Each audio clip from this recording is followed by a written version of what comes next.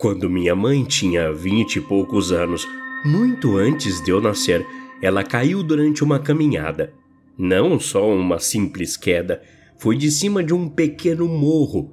Por causa disso, quebrou vários ossos. Ela não conseguia se levantar, mal conseguia se mover e só podia gritar por socorro, esperando que alguém da trilha deserta acima a ouvisse. Ela tinha tomado um caminho diferente, mas era um caminho mais vazio. Alguém viria, eventualmente, claro, mas ela estava com muita dor e sangrando. Parecia improvável que fosse capaz de aguentar até que chegasse ajuda. Mas suponho que há alguém sempre por aí prestando muita atenção aos gritos dos angustiados. Alguém que está sempre disposto a fazer um acordo. E no que diz respeito a ele, você sempre tem algo que vale a pena para negociar.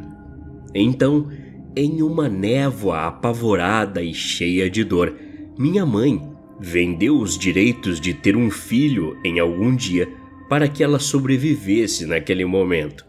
Sem rodeios e sem nem me conhecer, ela me vendeu ao diabo. O acordo era que ela viveria o suficiente para ser descoberta por alguma pessoa que tivesse próxima fazendo caminhada, e em troca, quando seu futuro primeiro filho atingisse 33 anos, iria diretamente para o inferno. Sempre odiei meus pais, não porque minha mãe tivesse me vendido a Satanás. Eu nunca soube disso e entendo porque ela nunca me contou. Eles eram apenas pais terríveis por várias outras razões. Eu era filho único, então acho que pode ter sido que nunca quiseram ter um filho. Talvez ela só tivesse me parido como obrigação, tentando evitar quebrar qualquer cláusula do contrato com Satanás. De qualquer forma, esta aversão a mim significava alguma coisa, e eu só soube o motivo quando o inferno se abriu para cobrar seu lado do acordo. Tudo começou com um sonho. Bem, eu não chamaria isso de sonho exatamente. Tudo diante de mim era terrivelmente real, mas veio quando eu estava dormindo. Primeiro, o que sonhei foi tudo o que descrevi para vocês. Uma explicação geral. Vi minha mãe cair, fazer o acordo e etc Entendi os termos do acordo com muita clareza. Uma coisa direi a favor do diabo: ele nunca pega uma alma sem antes pedir permissão. Depois, eu vi, tive um vislumbre do inferno diante de mim. A entrada, tudo. Eu me sentia sendo afastado do meu corpo, do mundo real. Eu flutuava no meio da escuridão, escuridão total interminável em qualquer direção. Ao contrário do espaço vazio, este à minha frente parecia um espaço negativo, mais vazio do que o próprio vazio poderia ser. Na minha frente não vi nada, mas em algum lugar com certeza era o um inferno. Senti o esquecimento na minha frente. Agindo como um vácuo, me sentia sendo puxado daquele jeito para frente e para baixo, acelerando através do nada em uma velocidade alarmante. E eu sabia que havia algo ali, algo no final, para o qual eu estava sendo puxado. Eu parei. Não sei como, mas parei. Olhei a escuridão e, como a dor de agarrar firme uma corda que escorrega pelos dedos, senti muita dor, mas consegui desacelerar.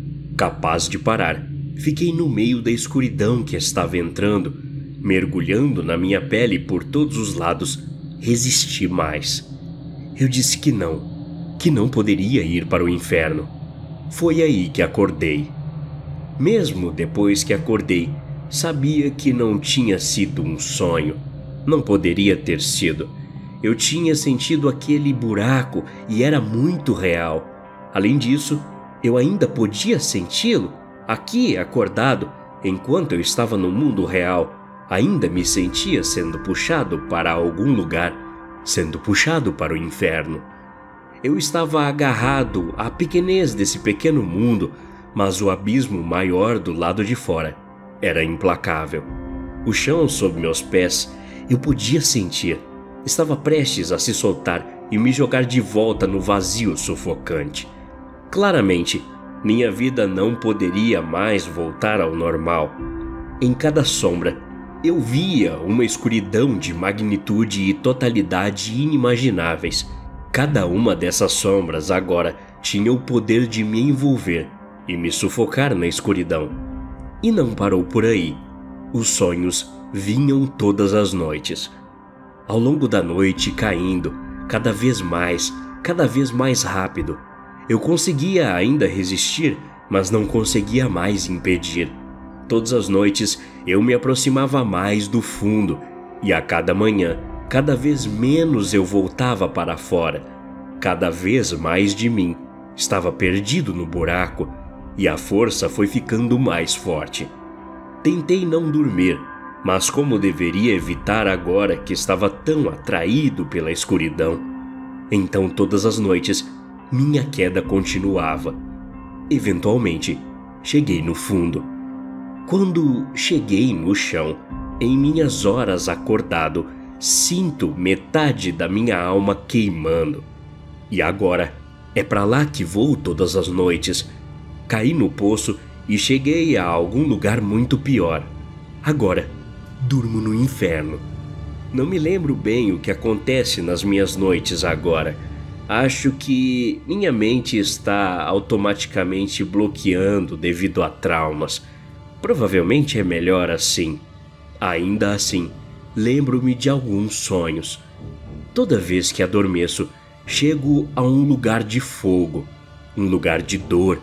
Estou junto de filas intermináveis de outros rostos gritantes e contorcidos.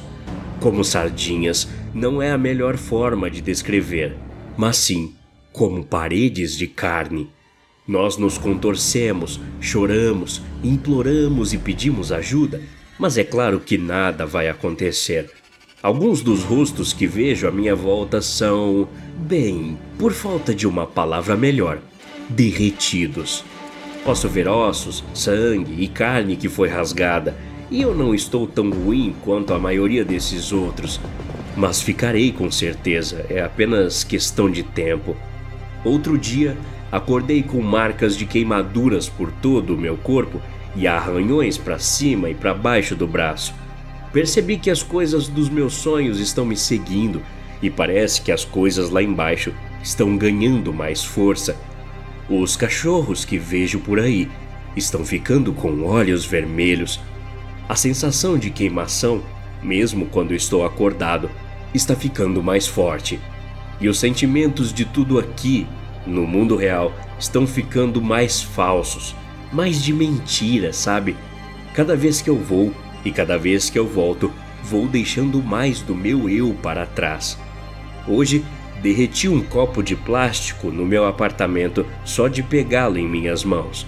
Pedi para fazer horas extras no trabalho hoje e estou no escritório agora. Qualquer coisa para me manter longe da minha cama, para ficar na luz. Se eu for para casa, a força da escuridão se torna muito forte e pior. Eu não resistiria a dormir, e acho que a próxima vez que adormecer pode ser a última. Pode ser aquele destino do qual não posso voltar. Minha presença aqui nesse mundo está indo embora. Mais um sonho e posso perder minha vida, de uma vez por todas, eu irei para o inferno, e mesmo com o que vi até agora, acho que é um sofrimento que não posso começar a imaginar.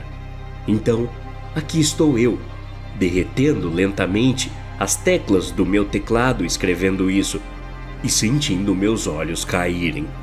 É, certamente está ficando escuro aqui dentro e é tão quente.